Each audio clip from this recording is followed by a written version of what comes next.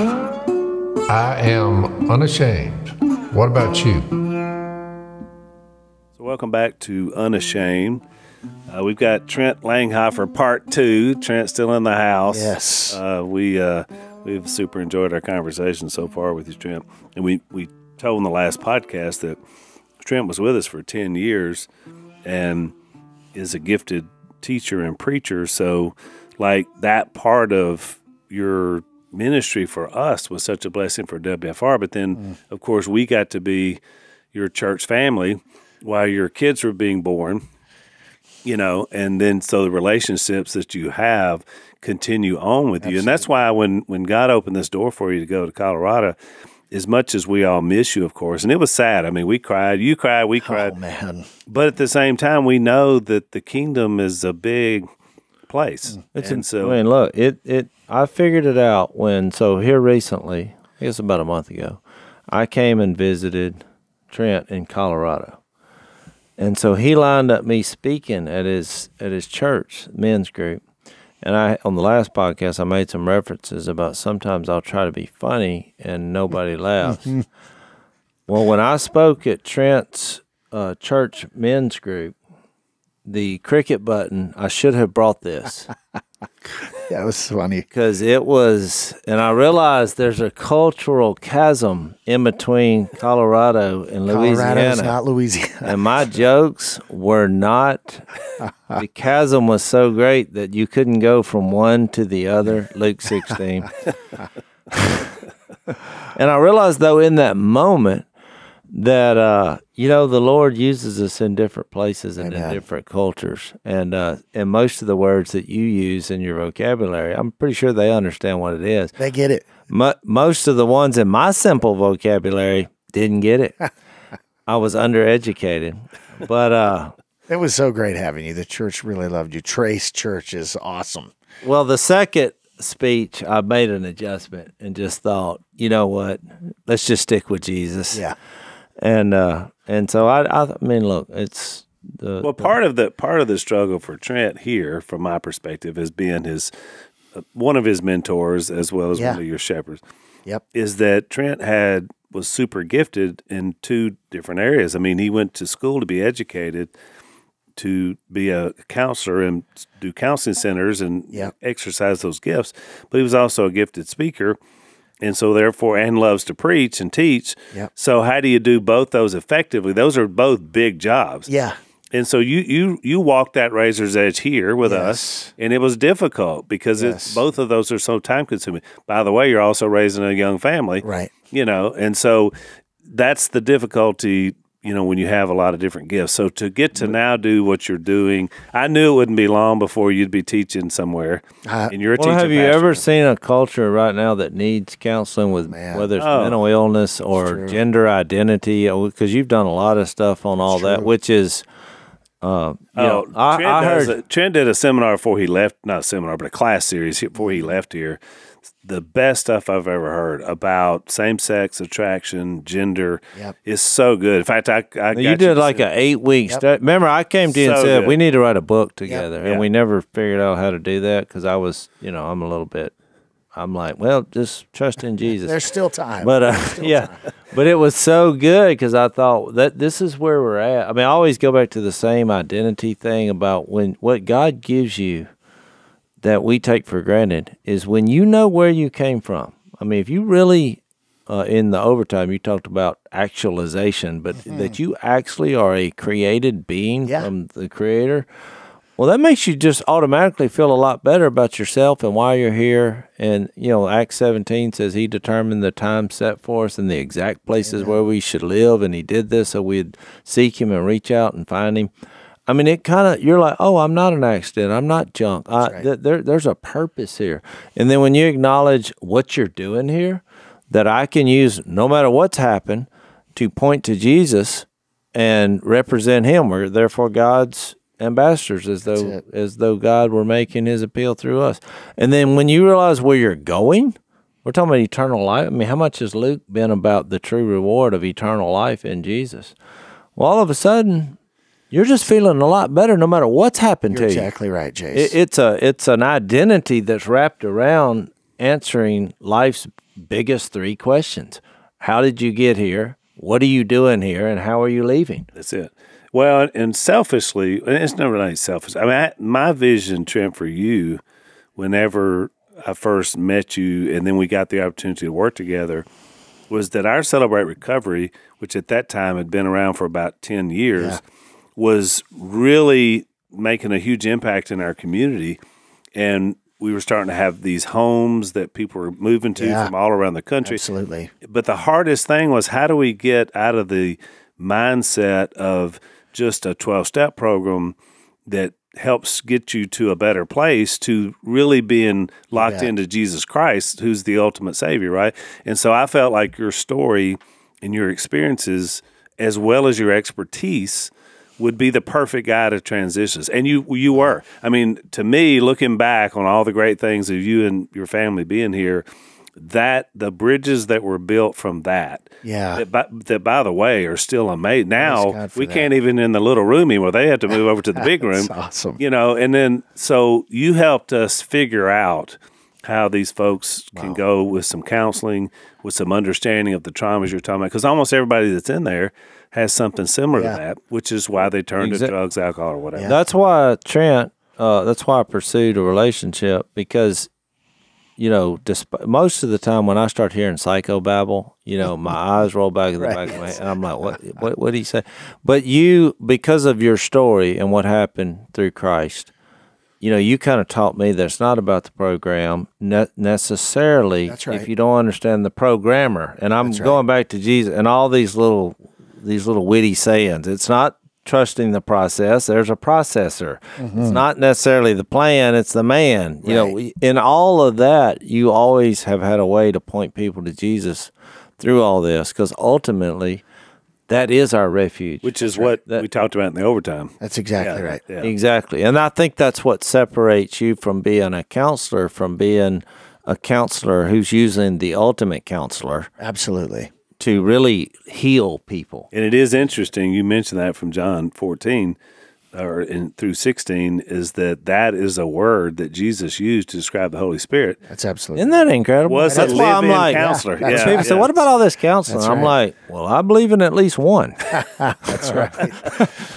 that we all desperately need." A- And, I loved That's it right. in the overtime. You used an illustration from Matthew 27 32 about the, the man who carried the cross. Bet. Oh no, that was good. I think we should relive that just for. I think we should just get since since not everybody has I know you're going to tell your story. We left off. Look, when you were ten years old, which is which is horrifying, that you're using drugs for the first time at ten years old, which is where we left off in the last last podcast. But you did say something that I'd never thought about before. Is here's Jesus who did all these miracles, and then he gets to the cross. And he's Well, he- carrying it. he could have performed a miracle to himself by carrying his cross. Why would he allow someone else to carry his cross? And and you made your point of, and I'll let you make it because you did it better than me. Yeah, I, I I think Jesus could have healed himself and carried the cross. He raised Lazarus from the dead after Lazarus had been dead four days. He he gave sight to people who were born blind. Um, so I I don't think it's that Jesus could not carry his cross. I think Jesus allows himself to be so brutally beaten and fatigued to need help carrying his cross. Again, not to show us that he couldn't carry his, but to demonstrate for us that there will be times we can't carry our own burdens in life by ourselves. And it is totally okay uh, to reach out for help. If Jesus can get help carrying the cross, we can seek help carrying our own burdens. That's so important. It's a great point, and ultimately he did all that for us. I mean, he That's right. he led the life and ended in death that we should have received for no matter what's happened to us for our own selfish right. moments and our you know separation from God. Yeah, yeah, and so I, I think that that whole connection connection point is really why God has used you the way He has. You know, which I think is a great blessing for us. So I want to pick up on the on the story where we left off because Yeah. we didn't do that in the overtime, but obviously th- you were introduced to drugs. You're young. We understood why it's the trauma that led you to this point. so right. where did where did that take you? It in was those tough. young yeah, years? it well, was and your family had had separated. Oh, you didn't mention Right, that. But right. that was part of the trauma, right? Correct. Yep. Yep. So, s early life trauma, used drugs for the first time at age 10, started using drugs full time shortly thereafter. And I um, mean, were you doing this at school? And, before school, after school, leaving school, sneaking out at night, you know, any any time I could get a hold of a psychoactive substance, I was trying to get a hold of one. And were you like stealing money to do stealing this? money, lying to people, deceiving people. And it got to the point where my substance abuse was so severe, I dropped out of school uh, as a junior in high school. And so basically was uh, using drugs all day, every day. You were probably 16. 16 at the time. And, and you guys, I, I was just miserable. Yeah, I was broken and hurting. And again, like we discussed in the last podcast, my brain learned that drugs eased some of my emotional pain. And so my brain just kept going back to that place over and over and over and over again. My parents eventually uh, heard about a treatment center in Arkansas uh, that was supposed to be good. It was Christ centered. And so one night they uh, found me and said, Hey, we want to take you to get something to eat. And I passed out in their vehicle. And I woke up the next day having driven across state lines and found myself at this uh, treatment center. And so the, the, it's a long story, but over the next two and a half years, I'm in treatment eight different times. And So you're in, you're out, And- you're yep. in, you're Were out. you like breaking out, or were they giving you? So that's a funny story. It, it's sad, probably more than it is funny, but it does provoke laughter. I guess it's that pity laughter that we talked about earlier. Uh, so I'm in a tr- uh, uh, sexual abuse trauma treatment center outside of New Orleans, Louisiana. And I was 17 at the time, so I'm too old to stay in the pediatric unit, but I was really too young to be with the adults, but they put me with the adults anyway and I was in a really low spot in life and was suicidal and uh, was a suicide risk and had been harming myself. And so they had me sleeping in the center of this ward where I was under, you know, constant surveillance essentially. Um, and one morning I woke up and there was a girl uh, who looked to be about my age that was sketching a picture of me, which is kind of, you know, creepy in retrospect, but given the setting, it didn't seem that, you know, unusual. Yeah. Um, and so I befriended her, and her story was similar. She was too old to be in the pediatric unit with the kids, but really probably too young to be with the adults. And she shared her story with me. And, you know, these details are kind of graphic, um, but they're worth sharing just, just so your audience can understand the transformational power of Jesus Christ. So she told me that uh, her family was prostituting her out to fund their drug habit. And that's why she was in treatment. And they said that she would be uh, released into the custody of those same family members when she finished, uh, which was really sad. Yeah. and I, I'm kind of like in this place in life at that moment where I couldn't take any more bad news or tragic uh, uh, circumstances. You're hanging by a thread. Barely literally. by a thread, Alan. Yeah. So when she told me that, um, it just occurs to me like we got to break out of here. I don't want her to go back to this family. I don't like being here. Um, she doesn't like being here. And so, uh, true story. One night during shift change, um, we jimmied open a door to this psychiatric unit and escaped from the mental hospital. So there was a time in my life where I was an escaped mental patient, which that is kind of the titular line that's funny. Um, so that was on the I used to love using that line when, right. when he became our preacher. it's true. You know, The I mean, you preacher was usually you don't find that too much on the That's right. high end resume. Yeah. Let's uh let's take a break. So you got two kinds of gifts in the world, Jase. You got oohs and you got ohs. Hmm. Which would which would you rather get at Christmas? You know, if I just get one, I'm happy. So Dad got the ooh when he uh, got some Tommy Johns last year. Actually got a wow from Miss Kay. As I walked by, Yeah. I didn't stop. I walked by. yeah. Good. He just walked by sporting his brand new Tommy Johns. Good. Uh, which we love Tommy John's. I was a huge fanatic about Tommy John's uh, long before they became a sponsor of the podcast, but we are glad they're sponsors of the podcast. Not only do they have awesome underwear, they have great loungewear, pajamas, a lot of great gift ideas. They've sold over 20 million pairs. They have thousands of five star reviews. Giving Tommy John is a holiday tradition. 97% of women and men love getting the gift of Tommy John. Uh, they don't have customers, they have fanatics. And they also have a best pair you'll ever wear or it's free guarantee. So they stand behind their product. You'll love it. We all love wearing them. Uh, even Zach. Uh, we got him in some. T- you, you love them, don't you, Zach? I do. So we buy them. So we're like everybody else. We're going to go to TommyJohn.com slash Phil right now for the holidays. You're going to get 25% off site wide, which is great. 25% off everything for a limited time at TommyJohn.com slash Phil. That's TommyJohn.com slash Phil. See their site for details.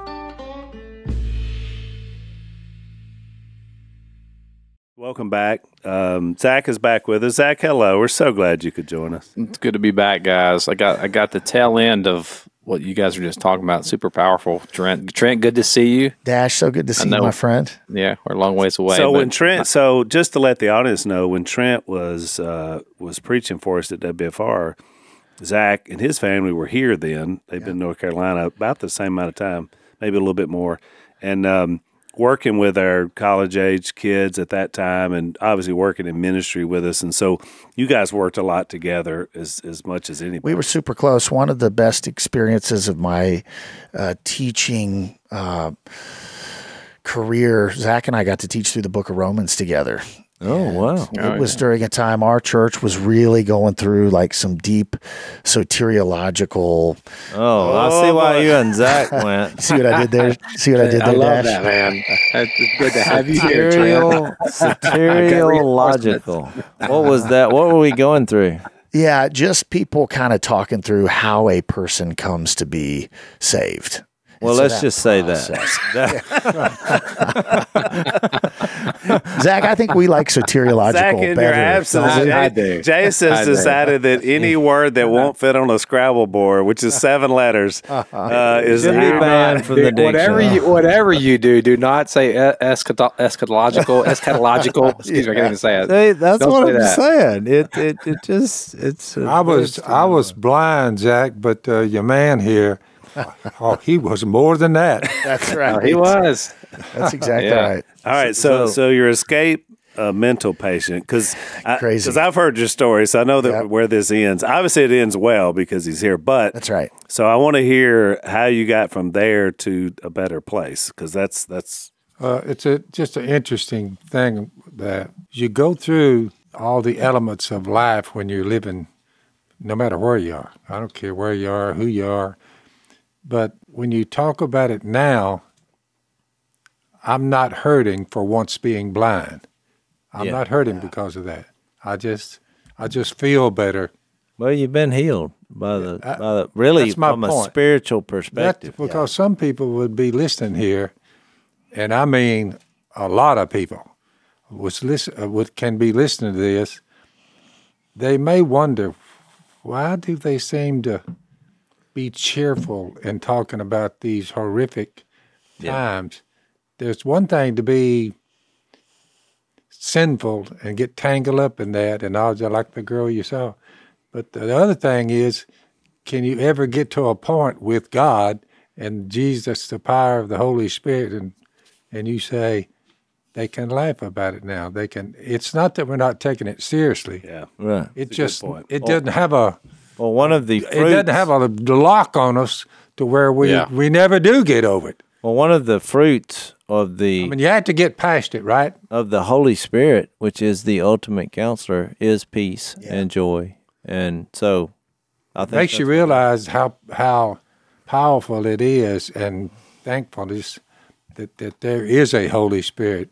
That, exactly. But look, I know why. It's because Trent takes just like you, Dad, or me, take no glory in it.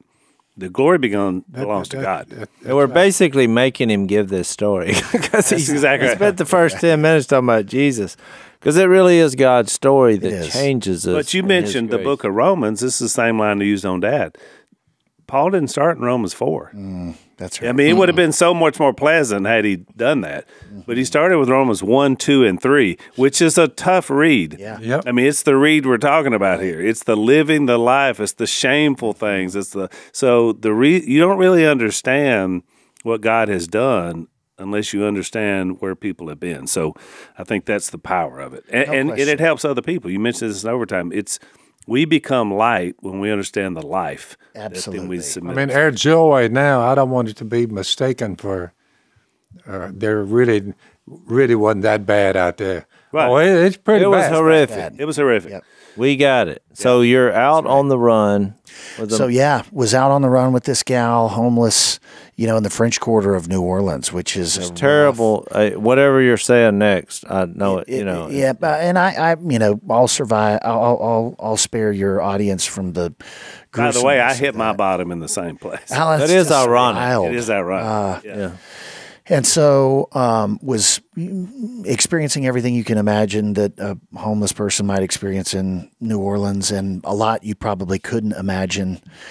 And eventually, this gal's family found us. I had a conversation with them. Felt like I had probably not received the most accurate information from this young lady, and um, you know they took me back to treatment. And so, a long story short, I ended up back in my hometown and and started using drugs again after being in treatment for almost two and a half years, eight different times, and used drugs really hardcore. I was an IV drug user uh, for the next almost four years, and at my rock bottom, um, I weigh about 250 pounds right now, but I would like to say my body mass index is a lot different than Zach Dasher. We're, we're close to the same weight. Same Well, way. you did wait. You did wait till you uh, till you get till I was at least I've been waiting before to you deliver that line. Yeah, I've been Yeah. waiting me- to deliver let me- that line. Let me translate that. Same weight, different shape. No, we're not, I'm not 250, guys. Come on. You're looking good, Dash. You're looking Thank good. you, brother. Uh, Thank you. Yeah, so um, was I, I weigh about 250 pounds right now, and I weighed about 120. You know, when I was at my rock bottom, and I was using with people that had HIV and was sharing needles, and it was just really as bad as it could have been.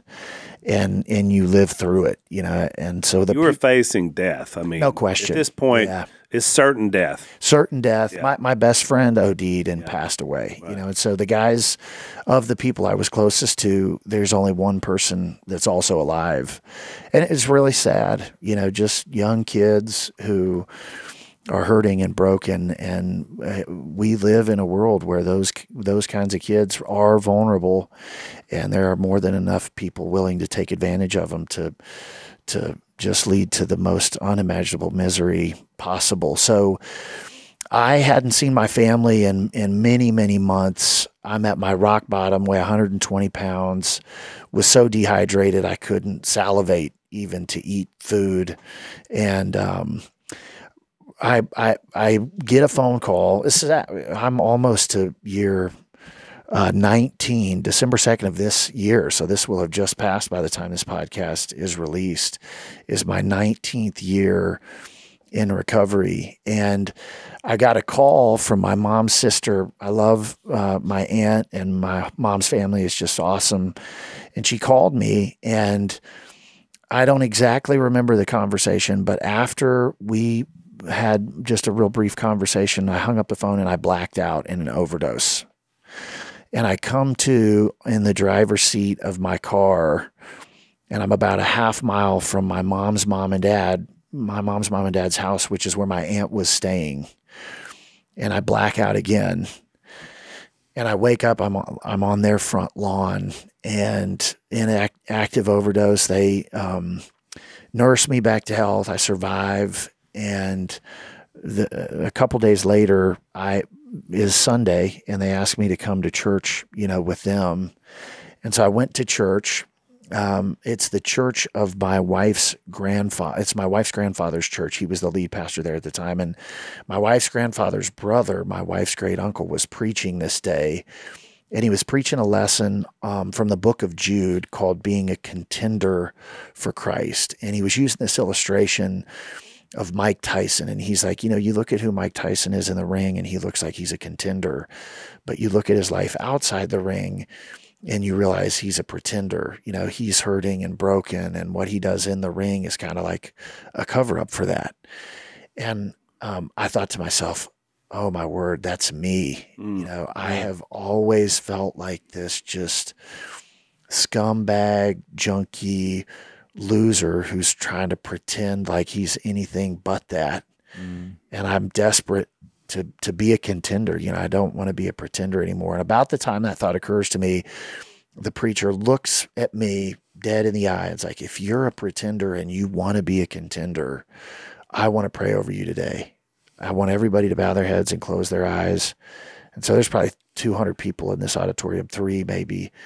And everybody bows their head and closes their eyes. And you got to remember, I, I had just come through an overdose. I got, you know, black fingernail polish on. I looked really bad. Mm.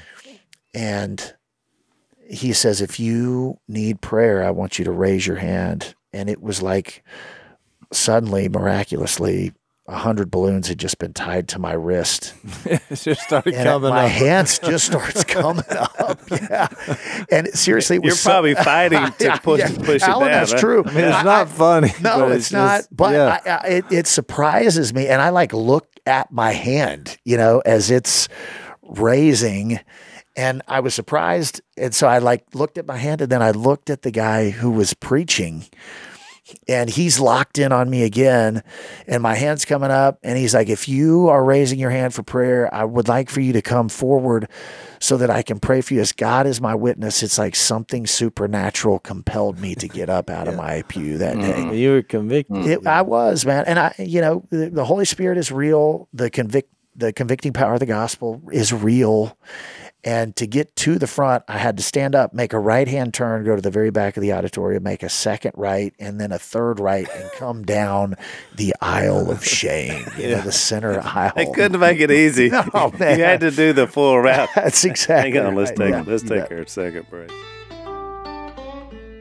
So it's the end of the year, so we're always kind of looking ahead to uh, financial decisions, kind of things you want to be doing in the new year. One of the things you may want to think about uh, is one of our sponsors, uh, Samaritan Ministries.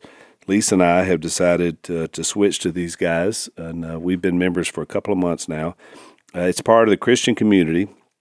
And what they do is it's not insurance, it's assurance that you're part of a health care sharing community. Uh, when you have a medical need, fellow members are going to send money directly to you to help you pay your medical bills. You're going to do the same for them, all while praying and encouraging.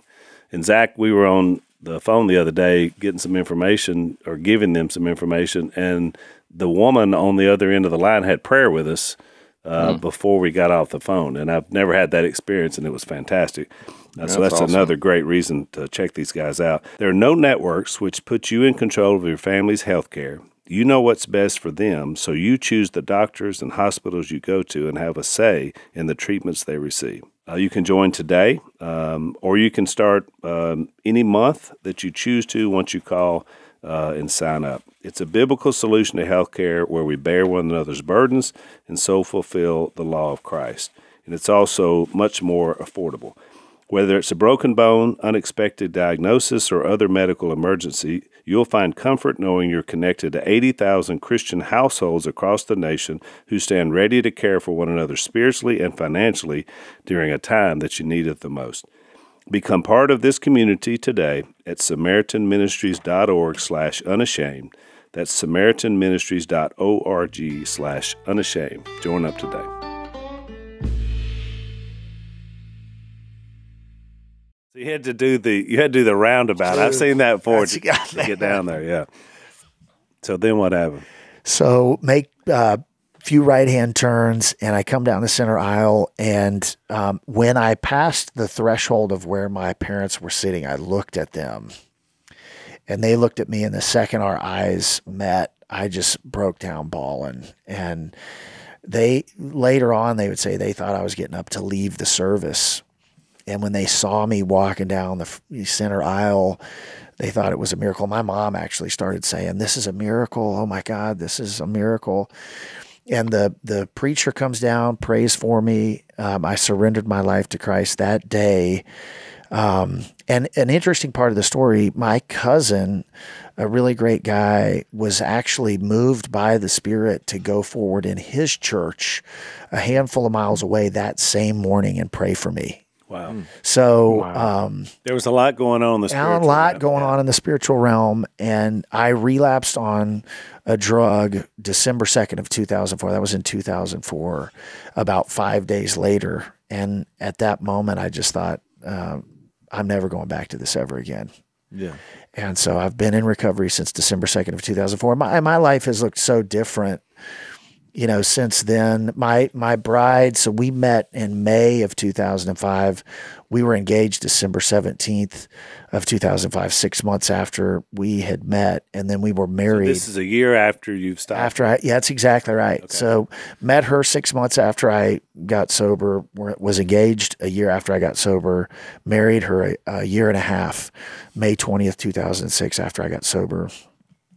And she's beautiful. Um, Kirsten is just, uh, she, her, her, her outer beauty is really uh, incredible, but she is the most loyal, kind hearted, innocent, supportive, nurturing, um, woman on the planet. And it's just so crazy to think um, a broken, messed up loser like me can end up with a, a gal like that. And I really do think that that's God's favor. Oh, You no know? Doubt. No doubt. She's wonderful. And she's incredible. I got three awesome kids. Um, we were just hunting with Jase this morning. It's like Your I son killed his first wood duck. killed his first wood duck today. Yeah, got pictures to prove it. But you know, I, I I really don't deserve a second chance. I don't deserve the opportunities God's given me. Um, and I do think it's important just for your audience to hear stories like this, because I, like we said last time, there really always is hope. You know, Joel mm-hmm. 2, the Israelites are in captivity, and God tells the Israelites through the prophet Joel that he will repay them for the years the locusts have eaten. Mm. And that's been my story, guys. You know, I, for over a decade, I was just living the most miserable, sin filled, agonizing life. And I really do feel like God has um, repaid me for the years the, the locusts have eaten, you know. And I, I uh, all I have done, the only thing that I've had to do to get to live the life that I'm living, which it really is my dream come true, is surrender to Jesus Christ every single day. Well, just two words. Welcome aboard. Glad to be here. Thank one day, one day it may be in a movie, right? There. That's So, right. Yeah. so, Be so you went when you went to Harding. You went to Harding. Yep, went to Harding. And what, did your was your plan going in that you would be a counselor, or did, did that come as? Yeah. I, have never asked you. That. That's that. a great question. So when I got sober, I thought I know how to do two things really well. I know how to use drugs and to be a counseling client. That's it. Those were my only skills. Uh, because you spent all that's those all I had done in my entire life. So eight eight programs. yeah, yeah, yeah. I'm like, well, I don't want to be a junkie anymore. I wonder if I could try my hand, you know, at counseling. Yeah. And the the counseling that made a difference in my life was Christian counseling. Yeah.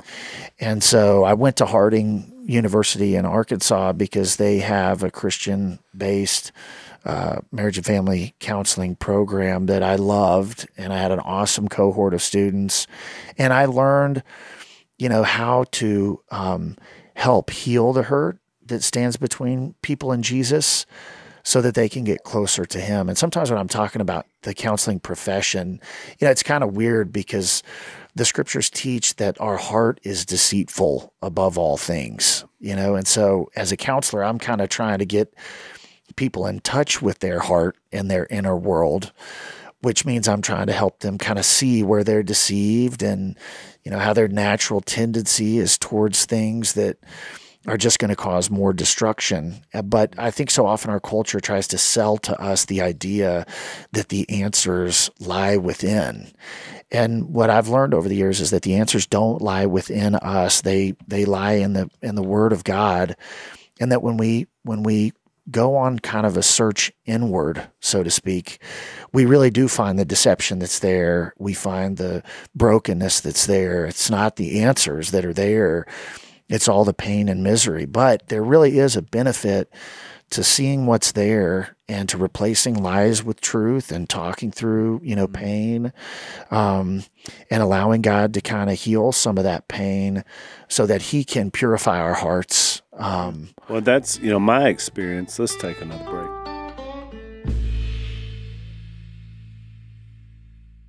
My experience with in counseling with Lisa and I, and and primarily we went for both of us, but it was a lot for her. But we went in the first two times we went. She wasn't at that place yet. She hasn't Yeah. been submitted yet. So like even going to a Christian counselor, ultimately there was no satisfaction with where we were because we weren't ready yet. And so I always say that my, from my experience, counseling is a fantastic guide, but only if you're willing to be guided. you bet. You know, mm-hmm. and so once you've made, so when we came in broken and ready, because now we're ready for life change, our counselor was amazing because we were finally ready to go someplace, and the counselor helped helped get us there. Thank God for that. Yeah, and so that from my experience, and I, we we've you know routed so many people to Christian counseling because we know what it did for us. It gave us a basis to start new from, and it changed our lives. You know, in in a, in a big way. And and I love the idea about your illustration of carrying the cross too, because you still need people in your life beyond that. You bet. When you face the temptation, when you face the difficulty, when you face some of the old you know things that used There- to attack you. There's, a, the, you know, in terms of human attachment, this is another reason why I think counseling can be helpful and why the relationship we have with other Christians is so important. So in 1915, there's a there was a pediatrician. His name was Henry Chapin, and you know, so we're talking hundred years ago, and so there were there were a lot of people um, migrating to the United States, and he worked in the northeast part of the U.S. and he. Uh, had lots of babies that were not surviving their infancy. And so the mortality rate at the hospital he worked was incredibly high. And he did a deep dive into the data and he was trying to figure out why are these babies not surviving?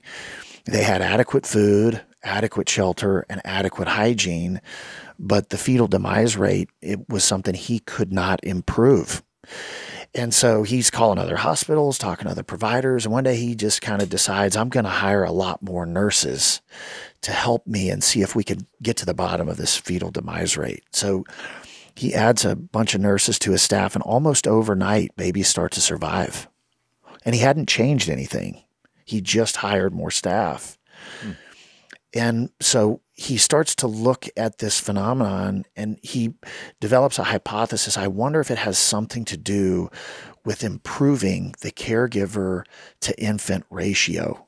So he looks at other hospitals that have equally high fetal demise rates with some, with an unexplainable cause. It's not obviously like you know some bacterial infection circulating through the mm-hmm. hospital, and so he he repeats uh, The process. The process. And he hires more nurses and in a couple of different times immediately the fetal demise rates improved.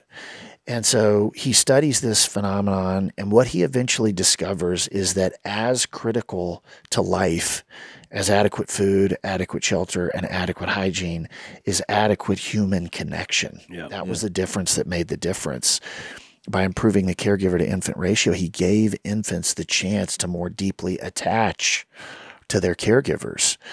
And he called the diagnosis that he developed from this research failure to thrive.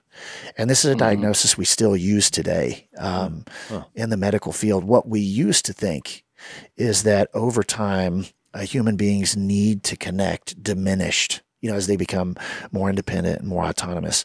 What we what we now know because of the work of a guy named John Bowlby is that your need to attach doesn't diminish over time. The symptoms that arise as a result of being detached or what changes. But it's still a life-threatening phenomenon. Adults who are chronically detached uh, Vivek Murthy who was the Surgeon General of the United States uh, published some research on this. You can you can Google it. Um, but he said that chronic detachment in adulthood is as detrimental to your health as smoking a pack of cigarettes a day.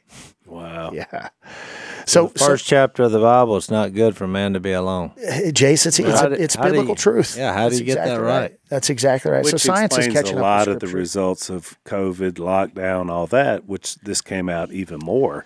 When when that was being discussed. You know, for me, Trent, we realized that same theory must have come about because in the in the mid '80s when we had Anna, she was uh, she was born nine and a half week weeks Wow. early. So normally that's time she's still in her mother's womb.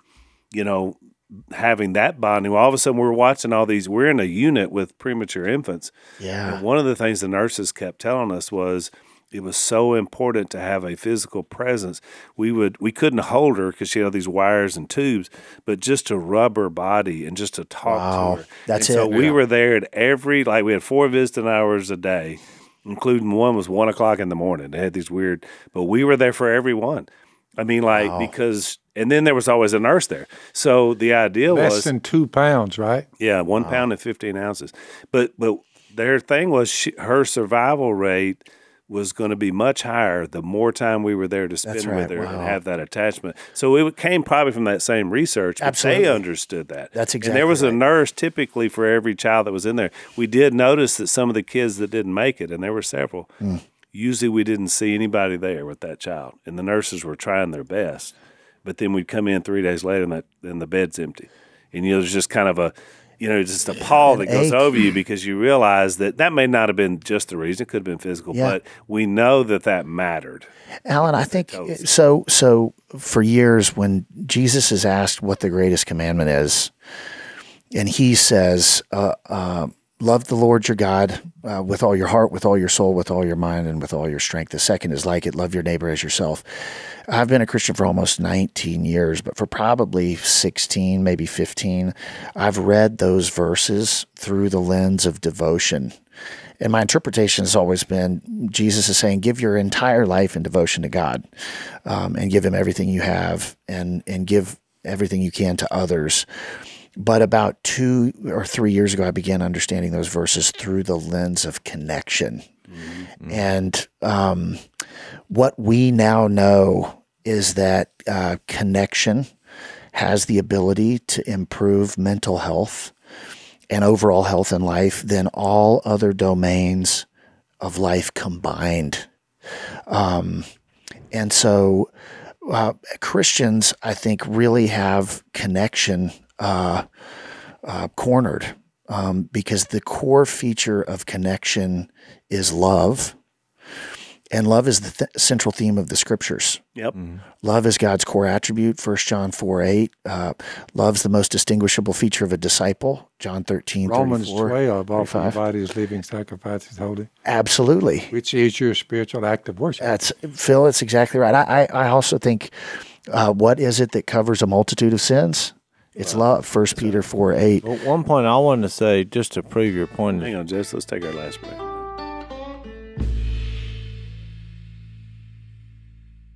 to prove your point is right, you know, one of the great benefits I get from being friends with uh, Trent is I get free counseling. and I, you know, my daughter, when she had gone through so much with all the surgeries and all, and so when she got to, be, and she handled it way better Yeah. than all of us. But when she got to be a teenager, all of a sudden, you know, uh, we were having trouble, and I couldn't. She was just disassociated. She seemed depressed, she, and and you know, we all go through puberty, and and all, so I just kept thinking it's that. But I was trying everything under the sun to connect with her. Nothing was working, so I called Trent. And Trent, in the moment, I thought this is the dumbest idea I've ever heard, but I didn't say that. But he's like, "Well, you ever thought about He says that for most of the things I tell him. well, it just seems so. He's like, we ever thought about her having a counselor or talking to somebody about, and you gave an illustration. It's a lot like what she's gone through so much isolation, so much recovery because of so many surgeries Yeah. That all those times of loneliness and all is very difficult on them. And it's almost like a soldier having a post traumatic war syndrome That's right. and because of the trauma that she's been through. And uh, even though I thought that's not it, I, I followed his because I was willing to try anything. Yeah. So we had a weekend session, and I have to say, you know, I don't know exactly what was said during there, but but it did work through all that pain and suffering that she'd gone through and isolation Yeah. that the lost connection where you have to take six months off of school while all your friends are at school, you're sitting there by yourself. And uh, even though the illusion was given to us that she's handling it well, Of course. that's very difficult for a kid year in and year out to be beaten, butchered, and suffer and to be alone. And so just the connection and the, that came from that conversation gave her heart a place to welcome Jesus i in that moment and, and find her comfort in him. And look, she's literally flourished ever since after one weekend. And uh, so, thanks for the advice. And you were right, but I think you have to sometimes realize that looking back to the old self, because that classifies as that, helped her realize, okay, that was tough, you know, mm-hmm. and that what, and I should have been a little more vocal about, you know, all of that going on. And whatever the conversation was, it was just like, mm-hmm. that's it. I'm moving on. I'm going to do this for the Lord. And it wasn't too long after that where she started using what happened to her because she saw a need Yeah. Wow. for other kids to say, I need this needs to be my ministry, you know, and that's when she took over her own charity and now, you know, runs that helping other people. So I mean it it's it really the spirit of the Lord did it, but it was helpful mm-hmm. to have that connection and that counseling moment for all of us to be on the same page. And I think to keep that humility in us that we know we'll always need that. I mean, Trent has tremendous expertise of what he's learned, but also what God has done in his life. But I remember, and I don't think I've ever shared this, Trent, but you and Kirsten one time were going through something and you got to an impasse with each other. And so here you are, you're a counselor. You, you, you probably knew all the right things to say and do, but you, but you wanted both of you to be on the same page. And so you called me and asked if Lisa and I You would and sit down with you guys. That's exactly and right. we did. And we talked through where you guys were and we prayed about it and it it was a good it was a great You bet. you know counseling guide for you. So even a counselor still Well, needs counsel. we're I mean, all you know, we're, we're all So human true. beings, you know. And I love that mm-hmm. humility about you, Jake, Yeah. because you were our leader, but at the same time, we were helping lead you. Man, I you know, and that's one of the things I love so much about Whites Ferry Road and the elders at Whites Ferry Road, which, as you know, Alan, I still consider the Whites Ferry Road elders my elders and, and mentors, you know, and shepherds. And it's like I've kind of lived in two different sort of stratospheres. You know, I've been the just worst of the worst kind of an individual, and you know, now I'm in a lot of different leadership contexts. But my need for connection with Christ and my need for connection to other people who are Christians has remained the same, you know, through through that whole time period. And so, um, Kirsten and I have been in a lot of counseling over the years. Anybody married to a guy like me uh, has to be in lots of counseling. You know, she's wonderful. But Alan, you're in Lisa's guidance, the guidance of our other elders, you know, at Whites Ferry Road, and and friendship with guys like Jase, you know, uh, has really been the difference that's made the difference, you know, for me. And again, I'll just go back to what I said earlier. I am not smarter than other people. I'm not a, a harder worker. I don't have, you know, gifts that are out of the ordinary. Because of the misery in my life, I've really come to terms with the fact that I have got to do life Jesus's way yeah. and I've got to have his people surrounding me. And that's really what uh, has has has given me the life, you know, that I've, I've said this Sunday when I was preaching on Luke 15, when I got to the end of the text, is that I, I've seen myself in all three of the mm. people in the story. I was I was the young son that, that blew it like you did, but I've also been the older brother because I've looked judgmentally on others and not been willing to forgive. But also, as I've gotten older and matured in Christ, I've been I've had glimpses where I looked at people like the father looked Yeah. at both of those sons in the story. And I think we could all say we've probably shared some time in the three characters, and we want to be more like the dad. Which kind of brings us to what's going to happen. So, you know, the elders that you were bragging on got wind that you were coming. And so, next thing you know, they're like, well, we have a opening for a preacher Sunday. By the way, three years later, I'm still temporarily filling in for you, Trent. So That's right. you've But I was left gonna- this gaping hole here at our I was going to say, so you're going to preach on Luke 16, because I want to, you know, encourage people to listen. But Al, uh, in our overtime of the last podcast, uh, Trent gave three A's that I had to give redneck interpretations because he, like Zach, uses big words. So we had some cricket moments that But they were attachment, which was the connecting to God, you know, and other people. The acknowledgement. There was a, there's a time you you know this you know going from the old self to the new self. These things have to. By the way, in my opinion, it's worth subscribing to Blaze to get that point because it was so good out of Luke three. With And then we had an actual. Uh, what was the last one? Actualization, which I had no idea what that meant. But we we obviously what did we settle on? Uh, saying what that was. Maybe something living in truth. Living in you where you realize, I guess the the benefits of Yeah. you Christ. use John one as your text that Jesus is the Light. in him was life, and that life was the light of the world. Yeah, and you're So a it servant to that. Right. But Al, you had an aha three. I don't know if you remember them off the top of your I head. do. But I thought when Trent was sharing that his story, it, it sounded just like Luke 15. And you got to remember, you're at the table with been telling that story, and Phil talking about the blind.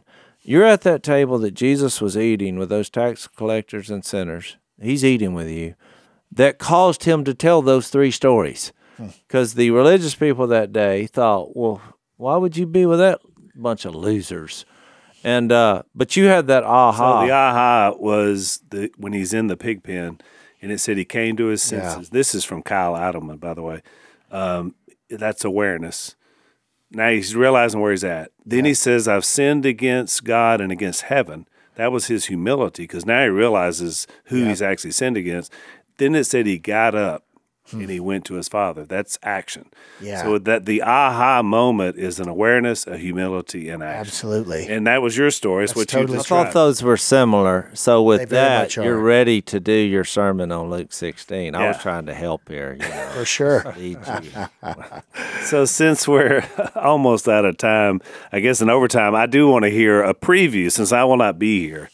Uh, I have to, but of course, by the time this releases, it will be available for people to go watch. Yeah. Which is uh, uh, WFRChurch.org is where Trent's sermon is going to be. But I'm going to get it in the overtime segment to give us a preview of what he's going to be preaching about because you're actually picking up where I left off in Luke 16.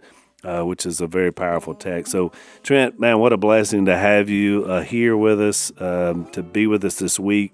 Your family is is so well loved here, and uh, you came back uh, last summer and preached for the first time, and it was great because it was like a homecoming. So it's going to be fun for the folks to get to experience that again. But just thank you for all you do, brother. Love you guys so much. Thank you so much you for well. having me. All right, so we're going to go to overtime. If you want to hear a little bit more with Trent, blazetv.com slash unashamed. Thanks for listening to the Unashamed podcast. Help us out by rating us on iTunes. And don't miss an episode by subscribing on YouTube and be sure to click that little bell to get notified about new episodes. And for even more content that you won't get anywhere else, subscribe to Blaze TV at blazetv.com slash unashamed.